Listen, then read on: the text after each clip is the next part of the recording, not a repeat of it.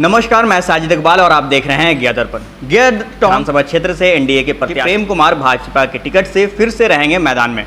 वहीं महागठबंधन से इस बार अखौरी ओकारनाथ उर्फ़ मोहन श्रीवास्तव जो डिप्टी मेयर हैं उन्हें कांग्रेस ने टिकट दिया है। शिवसेना ने भी इस बार गियाटॉन से ब्यूटी कुमारी को टिकट दिया है। वहीं आपको बता दें कि इस बार कांटे की टक्कर इस सीट पर देखने को मिलेगी जहाँ सात बार से विधायक रहे प्रेम कुमार का।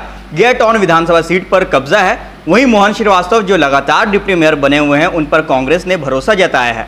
वह भी इस बार कांग्रेस के टिकट पर किस्मत आजमा रहे हैं। अब कौन जीतेगा या कौन हारेगा, ये तो 10 नवंबर को पता चल जाएगा कि जनता ने किसे चुना है।